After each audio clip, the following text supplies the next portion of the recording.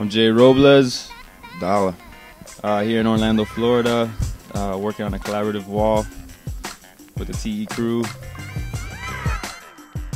I have a background of uh, fine art, Very influenced by uh, graffiti culture. and I grew up bombing in Jersey in the 80s. You know, give, give credit to, to my roots.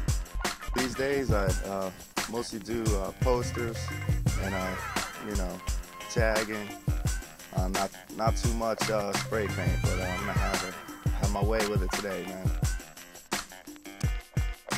We got a, uh, one of Dolla's characters here, and we're just trying to come up with some, some kind of concept to uh, make the pieces somehow fit and uh, compositionally with with Dolla's character.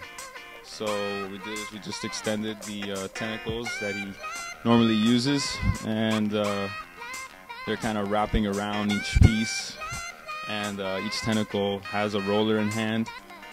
Um, so uh, I mean, it's pretty much pretty much what it is. I mean, there's no real theme per se. So we're just gonna run with this this idea we came up with.